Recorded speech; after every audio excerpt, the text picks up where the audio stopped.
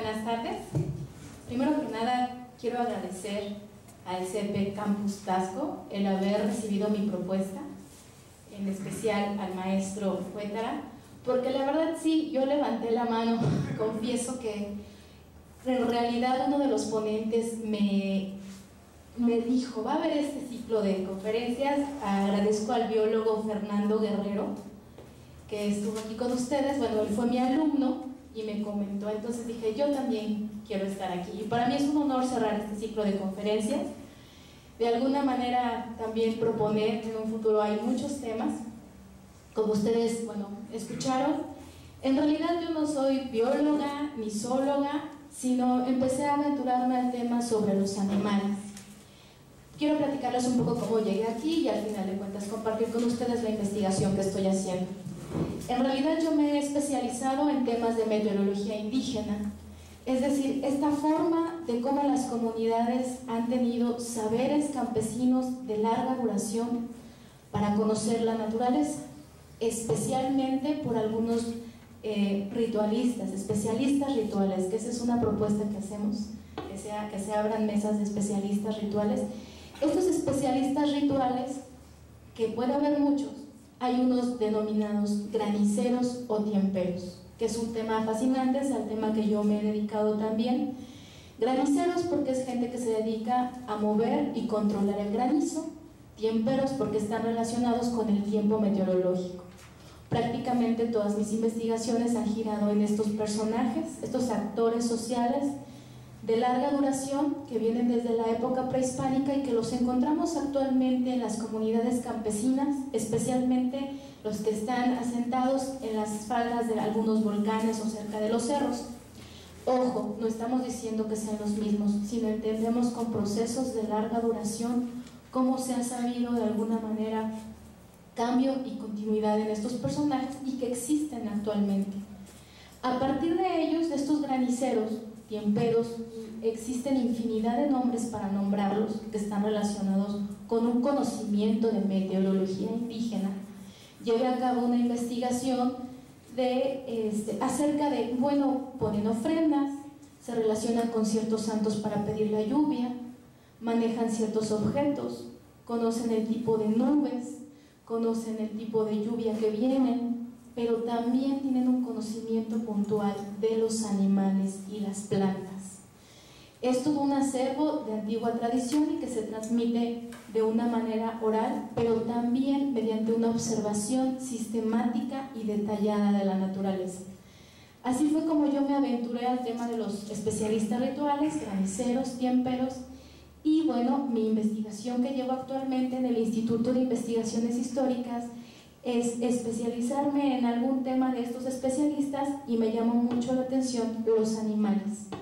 Las plantas, bueno, vi que también era flora y fauna, entonces me puse a investigar un poco qué hay en torno a la fauna, ese no es mi tema principal, sin embargo, está relacionado con, con flores que también este, tienen que ver con este manejo, con estas herramientas que la naturaleza da y que los especialistas rituales han sabido interpretar, han sabido conocer lo largo del tiempo. Entonces, bueno, eso es como, como yo empiezo. Eh, hay dos aspectos muy importantes que hay que tomar en cuenta. Uno es pronosticar y otro es controlar. Para los fines de esta investigación, el controlar el tiempo lo vamos a entender, partimos de una propuesta amplia, el controlar el tiempo como dirigir, ejercer autoridad, dominar y contener algo. Imagínense lo que es dirigir, dominar y controlar la naturaleza por medio de las plantas. Y pronosticar como aventurar lo que sucederá en un futuro a partir de ciertos indicios. Este caso lo va a proporcionar la fauna. Pero para los especialistas meteorológicos no se, no se trata de aventurar, sino es un conocimiento que han llevado a cabo, porque les comento, hay una relación estrecha con la naturaleza. Entonces hemos dividido de alguna manera pronosticar fauna, controlar flora. Es importante partir de dos conceptos fundamentales, los tomo de Johanna Broda, observación de la naturaleza. entendida como una observación sistemática y repetida a través del tiempo de los fenómenos naturales, del medio ambiente que permite hacer predicciones y orientar el comportamiento social de acuerdo con estos conocimientos. Esta observación influye en la construcción de la cosmovisión mezclándose con elementos míticos, es decir, religiosos. Es una observación puntual, como les comento, en una observación detallada que permite el control del tiempo, que tiene la finalidad de orientar las actividades sociales en el tiempo y en el espacio, es decir, mediante el medio ambiente. Estos dos conceptos son muy importantes para entender precisamente la actividad y la ayuda innata que va a proporcionar los animales y la flora. Este es mi punto de partida. ¿Cómo yo llego aquí? Al hacer eh, unas investigaciones posteriores, precisamente sobre un especialista ritual, me di cuenta que al poner una ofrenda pone muchos animalitos de agua. Fue como yo llegué al tema para desarrollarlo después. Esta es una ofrenda que se pone en San Andrés de la Cal, Morelos, muy cerca de Tepoztlán. Se trata de una ofrenda a los aires.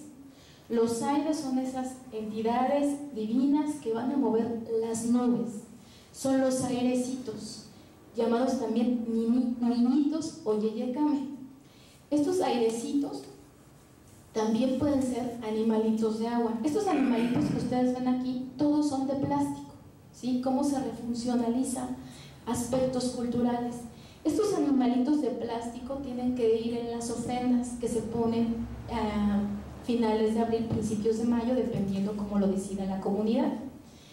La verdad, haciendo un paréntesis, estos animalitos cuesta mucho trabajo conseguirlos en, el poblado y la especialista ritual se va al mercado de Cuernavaca a tratar de conseguir este tipo de animalitos. Como ustedes pueden ver, ya no son como tan comunes que los niños pueden con esto. Entonces ella eh, consigue estos animalitos, es, hay que estar eh, haciendo la visita al mercado, nos tardamos ocho horas, eso es lo que hacer etnografía que empieza por los pies, entonces yo ahí con la especialista ritual subiendo y bajando y consiguiendo animalitos, viboritas, arañitas, tortuguitas, pajaritos, este, sapitos, toda una cantidad de animalitos, pero hagan de cuenta que son 13 lugares diferentes que están en este lugar, en San Andrés de la Cal, en Oquedades, en Lagunas, en Ojos de Agua, son 13 lugares y cada lugar debe de tener 13 vigoritas, 13 zapitos, 13 bla bla bla de cada uno, a la par de otros elementos que bueno, ese no es el,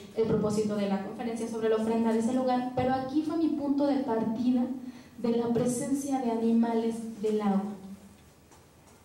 Esta es una ofrenda de, este, en San Andrés de la Cal para pedir lluvia hacia los aires. Como ustedes pueden ver, si ven, checan ahí, cada uno de los elementos son muy importantes, pero aquí quiero resaltar la tortuga, que es de plástico, y el sapito que la especialista está sacando de la bolsa. Entonces, estos animales tienen una función que de alguna manera es llamar el agua. Eso es lo que yo le he llamado animales y que la comunidad también dice ya animales del agua. Este, eso fue mi punto de partida a cómo yo empecé a poner atención de cómo los animales, de alguna manera, estaban vinculados con la fertilidad y la invocación del agua. Este es un ejemplo etnográfico de comunidades actuales y que nos remite perfectamente también en un contexto eh, mesoamericano donde el agua estaba vinculada a Tlaloc, por supuesto, y en las ofrendas mexicas destacaban pequeñas representaciones esculpidas de peces, ranas y otros reptiles. Es ahí donde hacemos esta asociación. Es una evidencia histórica que son fundamentales para entender las prácticas meteorológicas de las comunidades de tradición mesoamericana. Entonces, bueno, a partir de este momento dediqué a, me dediqué a hacer como este estudio, este proyecto, y bueno, por supuesto que partimos de, de Sagún, de Muñoz Camargo, de Diego Durán, Jacinto de la Serna, que en distintos documentos históricos hacen la presencia de ciertos animales relacionados con el temporal. Por supuesto, el libro de Sagún, el Códice Florentino, pues de alguna manera describe precisamente en su libro 11 las aves del agua. Y bueno, se dedica a hablar con detalle acerca de, en este documento fundamental, que es el punto, o punto obligado para muchos especialistas del tema, donde Sagún nos da este, varias especies de aves que viven en el agua o tienen una conversación con el agua. Entonces, bueno, hay como unos ejemplos puntuales que les he traído que menciona Sagún. Eh, por una parte tenemos a los papagayos o cinzones y nos dice Sagún, en el tiempo de invierno cuélganse de los árboles por el pico. Allí colgados se secan y se les cae la pluma. Y cuando el árbol torna a reverdecer, él torna a revivir y torna a nacer la pluma. Y cuando comienza a tronar para llover, entonces despierta, vuela y resucita. Otro es el tocomocli o ateponastri. Es un ave que vive en la laguna y que los pescadores y cazadores toman conjetura su canto para saber cuándo lloverá y si lloverá mucho o poco y si canta toda la noche. Dicen que es señal que ya vienen las aguas cerca y que lloverá en exceso, lo que indica una abundancia de peces. También tenemos el atacarpa o yacatextli, que bate el agua con sus alas un día antes y toda la noche previa al día que va a llover. Estas son las tres aves principales que detecto en Sagún relacionadas con el agua. Pero existen otras aves que Sagún denomina aves de rapiña y sin embargo también están relacionadas con el agua. Una es el pipishka, los cuales críanse hacia la mar y al tiempo de coger el maíz vienen acá dentro de la tierra. Por lo tanto, cuando estas aves vienen, entiéndase que es tiempo de coger el maíz. Está relacionado con un ciclo agrícola. Y los ejecachichinki, que significa el que chupa el viento, o también otro nombre, el Zenovsky, que quiere decir el que llama la helada. Dicen que esta ave no bebe agua y que después de haber comido abre la boca al aire y el aire le es el lugar de la bebida. En el aire siente cuando viene la helada y entonces da gritos. Todos estos son acciones, son este, datos puntuales de cómo actuaba la naturaleza, ya se daba este conocimiento de esto. Claro que por supuesto a la par de estos animales existen otros animales en la época prehispánica relacionados con el temporal que proporciona Sagún. Estaban los gusanos, las langostas, los escarabajos y las luciérnagas que andaban en tiempo de vísperas de lluvias o de recoger el maíz según sea el caso. Ahora bien, haciendo un breve entre paréntesis, al final de cuentas me di cuenta que había yo estado en una camisa de once varas, porque hablar del tema de los animales es muy complejo. Y ustedes, cuando ya lo vieron en el programa, hay gran diversidad de temas desde donde se pueden abordar. Entonces, pues para que mi investigación no se desbordara, tuve que ponerme esa limitante de animales del agua. Pero hay animales vinculados, por supuesto, con los dioses, no los podemos desligar. Hay animales vinculados con temáticas específicas con el poder. Y hay, eh, hay que estudiar los animales con cuidado. Seller tiene una propuesta por supuesto un punto de partida muy importante de su investigación. Entonces me aboqué a, sacar de alguna manera, sistematizar datos relacionados con el agua, pero que por supuesto se entretejen con otras propuestas para analizarlos. Entonces, continuando, no podemos dejar de lado, por supuesto, el ahuizotl, animal mítico que habitaba en los manantiales y lograba levantar las olas, cuya intensidad parece simular una tempestad. Y cito aquí a Seller, se trata de un animal acuático fantasmal, una especie de monstruo acuático, tiene orejas muy pequeñas, puntiagudas, un cuerpo negro muy liso, una cola muy larga y en su extremo una mano humana y pies y manos como un mono. Este animalito posee una característica zoológica especial, tiene una cola prensil. El ahuizotl se encuentra directamente relacionado con los tlaloque, estos ayudantes de Tlaloc, ya que las víctimas o personas ahogadas que el ahuizotl propiciaba se iban directamente con los dioses del agua, es un dato que proporciona Sagún. Otro de los cronistas que habla sobre animales está Diego Muñoz Camargo en la historia de Tlaxcala, que nos señala que en tiempos de secas y esterilidad de la tierra, al abrir la panza de los venados, o jabalís o cualquier otro animal indoméstico, al hallar hierbas verdes o algún grano de maíz o frijol nacido dentro del buche, decían que aquel año debía ser abundantísimo de panes y que no habría hambre. Pero si le hallaban en el vientre hierbas secas, decían que era la señal de mal año. Por otro lado, cuando había falta de agua y hacía grandes secas y que no llovía, Muñoz Camargo describe grandes procesiones y ayunos y penitencias en donde sacaban gran cantidad de perros pelones. Ahí tenemos uno. Para generar abundante lluvia y relámpagos. Y cito a Sagún que nos dice, de este género de perros, como referido tenemos, sacaban en procesión y en andas muy adornadas y los llevaban a sacrificar a un templo que les tenían dedicado que le llamaban Xoloteupan, y llegados ahí los sacrificaban y les sacaban los corazones y los ofrecían al dios de las aguas. Y cuando volvían de este sacrificio, antes que llegasen al templo mayor, llovían y relampagueaban, de tal manera que no podían llegar a sus casas con la mucho agua que llovía, y después de muertos, los perros se los comían. Fray Diego Durán, en su Historia de las Indias de la Nueva España, sobresale un acontecimiento referido al agua por ejemplo, este es otro colonista, que nos habla de un, este, un ritual para conducir el agua a Tenochtitlan y él se va a apoyar en la ejecución de un Teutlacamaski.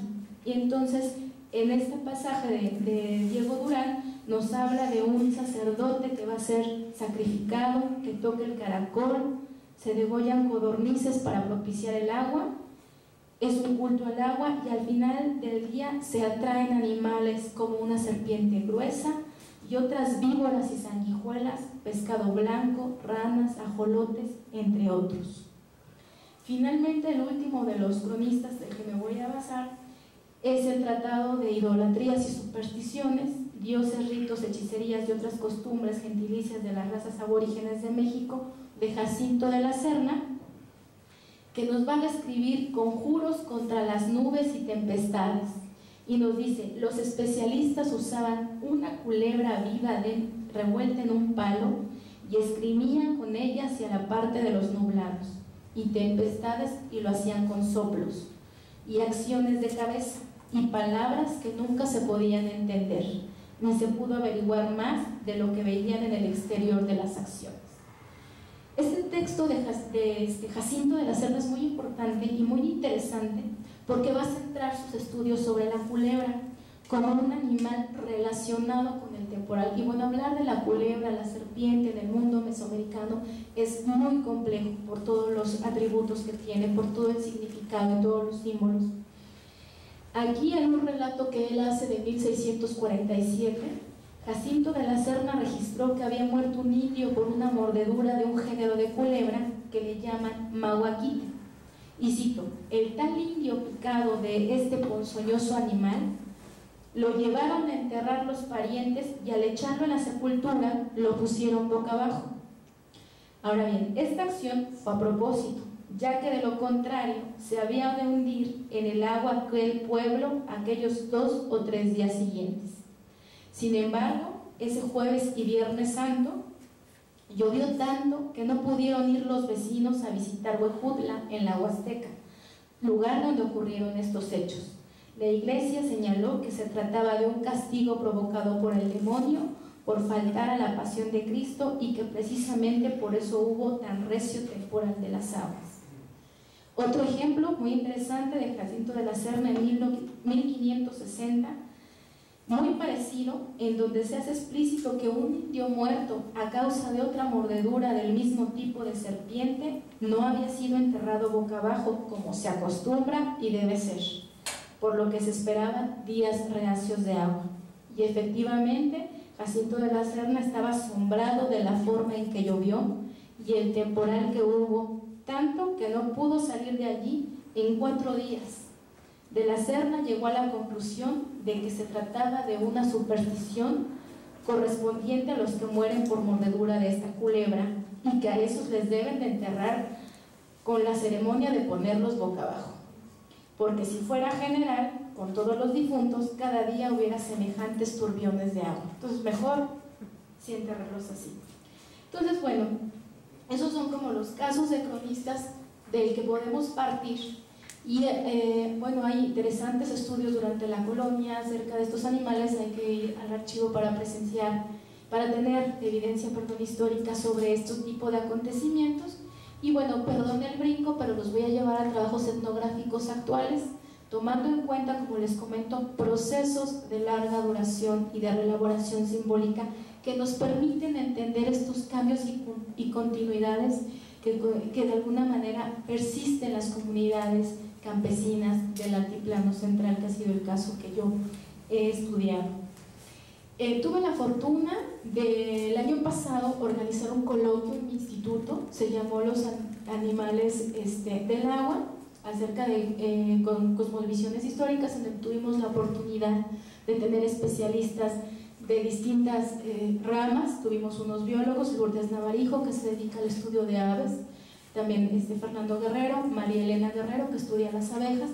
Fue un coloquio interdisciplinario en donde también trabajos etnográficos relacionados con animales que pronostican la lluvia. Va a salir un libro de, estas, de este coloquio y bueno, de allí, se, de alguna manera, y del trabajo etnográfico que he hecho en mis investigaciones, se han podido detectar cuáles son los animales que en un punto de partida las comunidades o distintas regiones utilizan.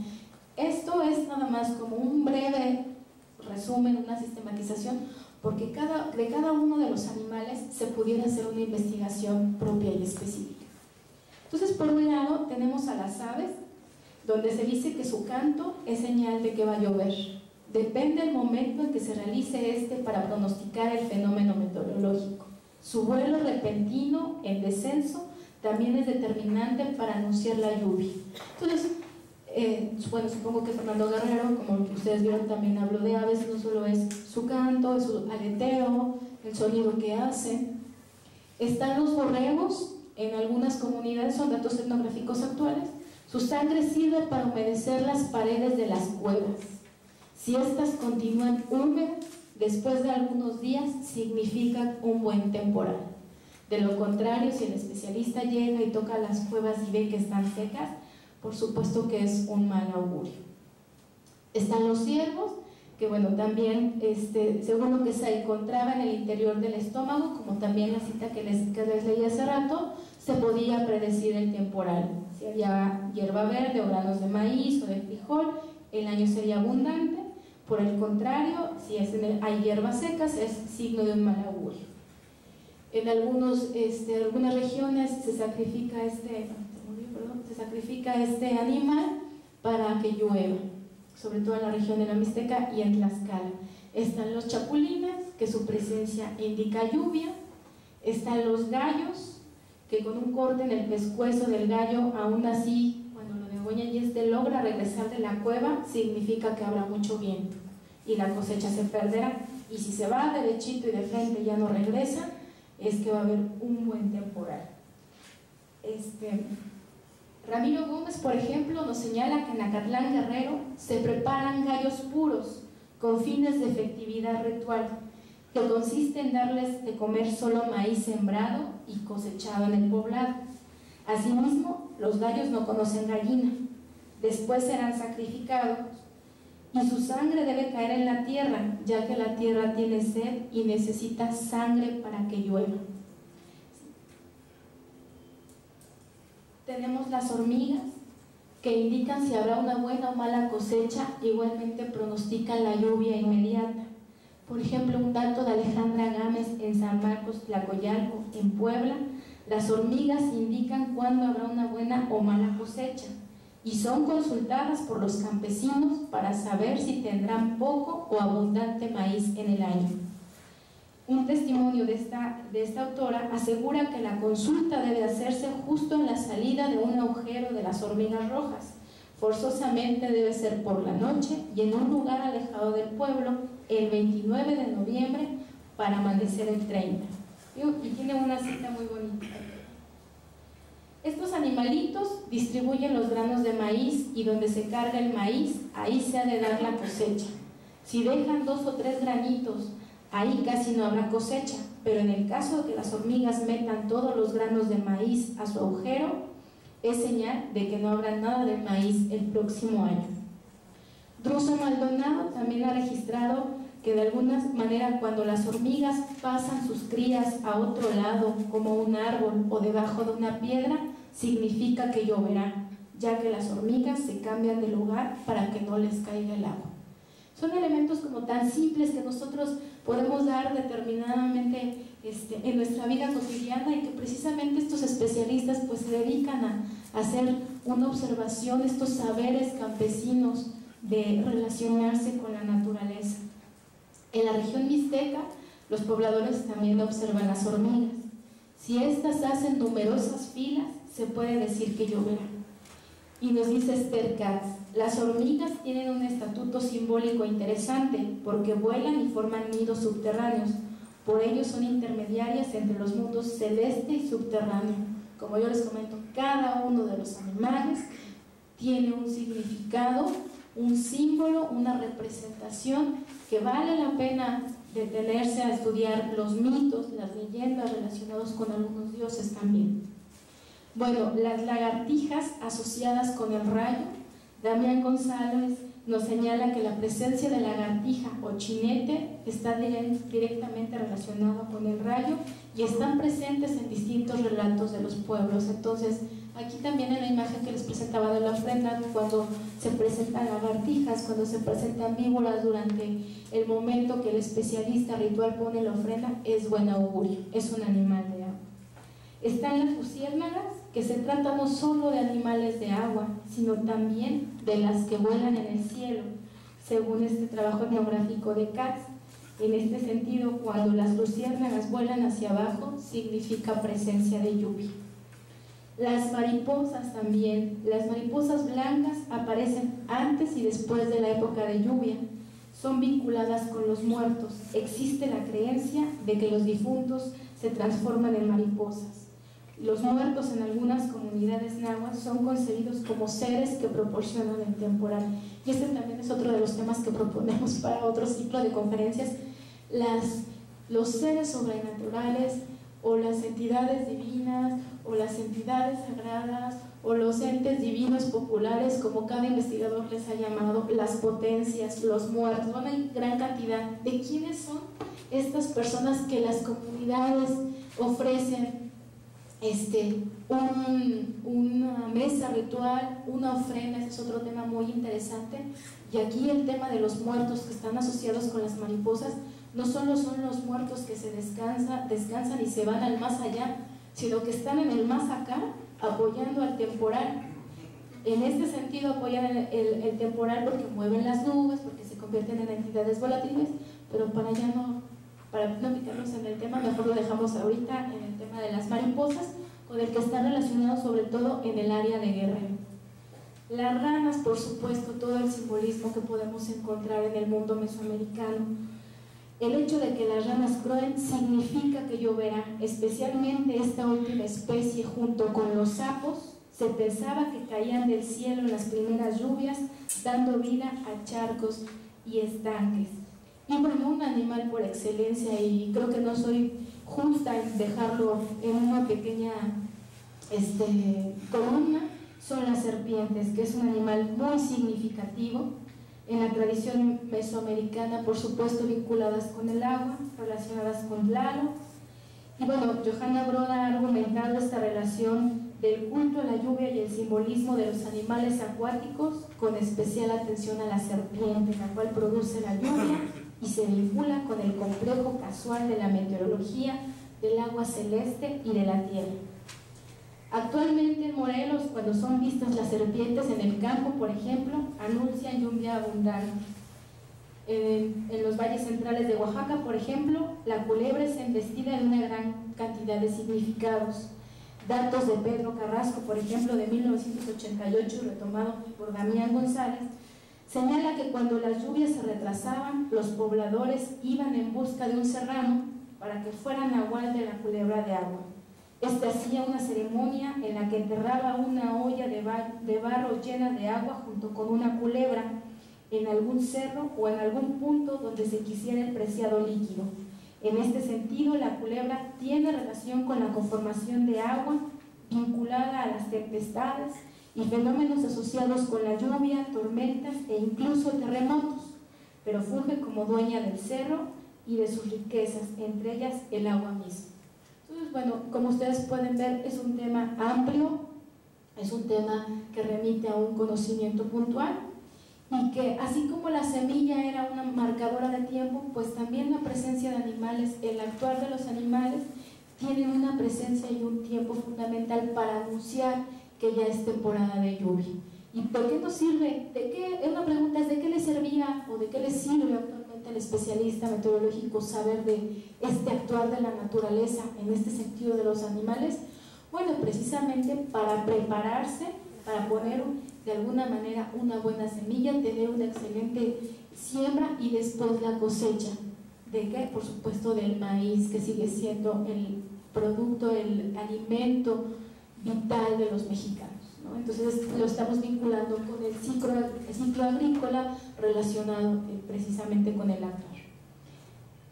Voy a continuar con la flora, es, como les comento, eh, no es una investigación que esté yo haciendo, pero dependía la tarea bueno, de, de partir en algún momento determinado de Francisco Hernández, este cronista que hace este, este análisis fundamental de la flora que existía en este mundo mesoamericano. Entonces, la flora no es ajena a esta parte de los elementos de la naturaleza. Digo, aquí también por la temática del ciclo de las conferencias. Pero existen muchos elementos naturales que los graniceros utilizan para saber cómo viene el temporal. Por eso les hablaba, animales de alguna manera pronostican, flora eh, de alguna manera está relacionado con eh, controlar. Pero para saber también cómo venía el temporal, los especialistas meteorológicos saben cómo viene por medio del arco iris, las cuevas y barrancas, el fuego, los huesos, la lava, la luna, las nubes, los relámpagos, los remolinos, las rocas opositas, el sol y los vientos. Son como ciertos elementos naturales que los especialistas meteorológicos se han puesto a investigar, se han puesto a hacer este análisis de la naturaleza que los rodea. Entonces, bueno, junto con todos estos elementos que yo les he mencionado, también está la flora. En especial, el romero, el capulín y el laurel y el achocopa, que tienen un uso diferente porque son considerados como instrumentos materiales, porque debido a su funcionalidad permiten manipular, como comentaba, no pronosticar el elemento meteorológico, sino manipular bueno, una de ellas son las ramas de romero. Las ramas de romero son quemadas durante las tormentas para alejar las nubes de granizo, pues se tiene la creencia que con el fuerte olor van a desbaratar las nubes de granizo o se retiran. Entonces esto está también registrado en rituales etnográficos actuales, donde aquí es importante el olor de la hierba de alguna manera que va a permitir incorporarse a la nube y poderla mover y así incidir en que cuando la nube cargada de granizo se aleje un poco. Está en las ramas de capulín, que son quemadas también mediante su humo, este, para que el humo se integre a la nube y se aleje. Las ramas de laurel, que son quemadas durante las tormentas para alejar las nubes negras. Y están las ramas o una flor de la chocopa, que son, este, una vez ritualizadas, eh, de alguna manera se incendian en los días de tormentas fuertes. También junto con estas eh, ramas son muy importantes las varas, que de alguna manera pueden ser de membrillo o son utilizadas y son utilizadas para controlar el temporal. También pueden ser espinas como la del rosal. De preferencia esta vara debe ser de una planta que se llame trueno o de trueno verde y con ella se encamina la nube para que se aleje de la cosecha. son como los ejemplos más comunes, más reiterados de, esta flora que, permite, que permite este, manipular, controlar el temporal, alejar la nube, para que las nubes cargadas de agua abundante, porque también se pide agua en los rituales de petición de lluvia, pero también hay rituales en donde no se pide tanta agua porque todo en exceso es malo. Entonces, alejar el granizo, alejar los malos vientos, alejar la culebra de agua, traer nubes buenas.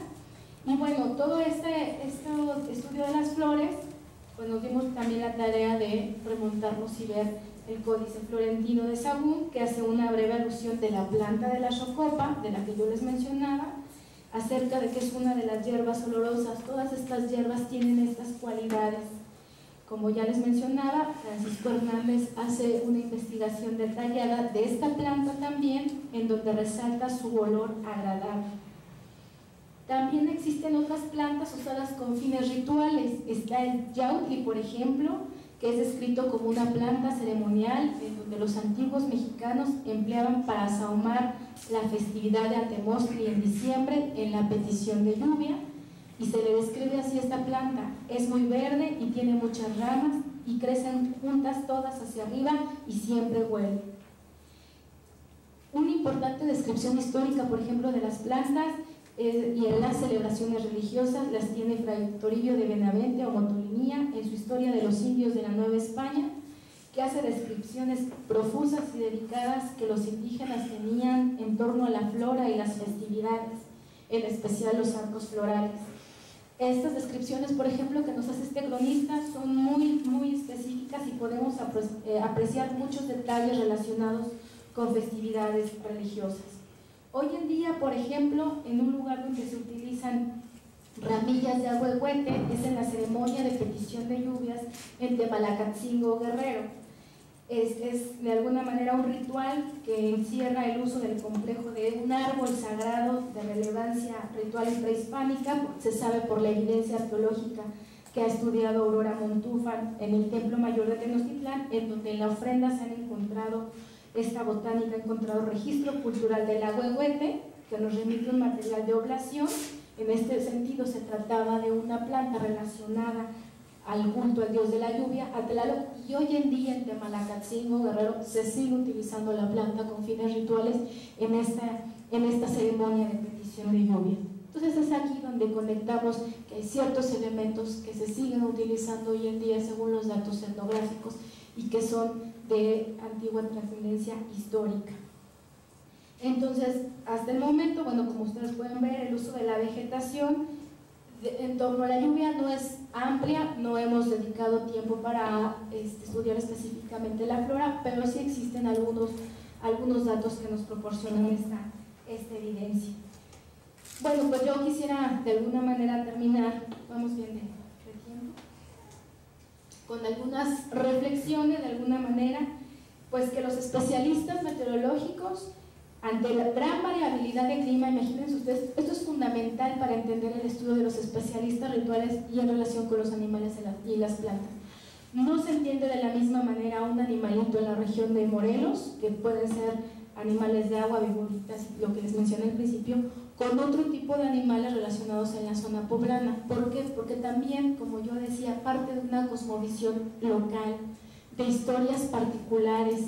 No nada más es extraer el tema de los animales, es también extraer este tema de la cosmovisión, vinculado con un paisaje. No es lo mismo los vientos de una manera en la región de Puebla a los vientos en Morelos. Entonces, la geografía, los animales, todo va cambiando de acuerdo a la cosmovisión, de la historia local entonces imagínense, ante una variabilidad de climas y condiciones geográficas particulares, estos especialistas han desarrollado un conocimiento acerca de la formación, las nubes, las lluvias, que les permite manejar los, los espacios naturales y aprovechar las temporadas climáticas, que de alguna manera tienen el propósito de desarrollar su vida física y social para obtener y aprovechar los bienes para su subsistencia y en este sentido, la flora y la fauna relacionada con el temporal se inscriben en el seno de una cosmovisión milenaria y resignificada, construida históricamente a través de la observación e interacción con el paisaje, lo que nos permite interpretar que así como la planta y la semilla son marcadores de tiempo cíclico y estacional, existía una multitud de fenómenos naturales que permitían a los antiguos mexicanos y también en tiempos actuales codificar el curso del tiempo como las señales de los animales. Consideramos de alguna manera también que pretender eh, una comparación desde datos actuales acerca de estos elementos para llevar a cabo un análisis de reinterpretación en un proceso de continuidad y cambio ligado a un entorno natural nos permite precisamente formular generalizaciones y determinar las diferentes variaciones con respecto al papel de la naturaleza, plantas y animales que pronostican y controlan el tiempo meteorológico acordes con aspectos históricos y geográficos. No hay que olvidar el cúmulo de experiencias para obtener este conocimiento, son saberes compartidos que se orientan precisamente el conocimiento, interpretación y manejo de complejos simbólicos que corresponden a la naturaleza. Considero necesario continuar en la labor de recopilar datos y conocer en mayor detalle la tradición de la meteorología prehispánica y el papel que cumplen estos elementos naturales para predecir y controlar el temporal. Es por eso que considero fundamental eh, indagar sobre los sistemas clasificatorios indígenas. Es muy importante recopilar e interpretar una gran cantidad de datos en torno a la ritualidad indígena. Y aquí hay como un tema muy polémico. A veces demeritamos si se trata de ciencia o no, o de hecho si había ciencia en el México prehispánico. Y por supuesto que debemos de desecharnos la noción de ciencia desde el occidente. Es un conocimiento de la naturaleza. Es un tema muy debatido, por supuesto, pero es un conocimiento puntual, es un conocimiento sistemático, está abocado a las particularidades de las comunidades campesinas y entonces son sistemas clasificatorios que nos permiten interpretar gran cantidad de datos. ¿Qué es lo que buscamos? Definir, comparar y catalogar la información, sí, pero además evidenciar la compleja vida ritual mediante una perspectiva general y amplia de la cosmovisión mesoamericana, específicamente aquella que vincula la propiciación y control de la lluvia que incide en el buen logro de la tierra fértil que da el sustento de las comunidades. Debemos hacer también una reflexión en torno a la función ordenadora que cumple este pensamiento simbólico respecto al imaginario colectivo. ¿Qué quiero decir? Los símbolos naturales no siempre son coincidentes con una realidad representada, sino que se moldean de alguna manera con los vehículos materiales del pensamiento. Desde esta perspectiva, explicamos que los diferentes significados de la fauna y la flora del agua ha abarcado un complejo simbolismo enraizado en una cosmovisión particular, considerando también a sus divinidades que se asociaban a animales específicos. El ejemplo etnográfico que yo les daba referente a las miniaturas de plástico que figuraban animales comparándolas con las ofrendas propiciatorias a Tlaloc, evidencia una operación simbólica bajo un proceso de larga duración. Se orientaba a propiciar la lluvia y con ello la fertilidad agrar. Estos aspectos son referentes fundamentales para estudiar la relación cultura-naturaleza en los pueblos campesinos de la tradición mesoamericana.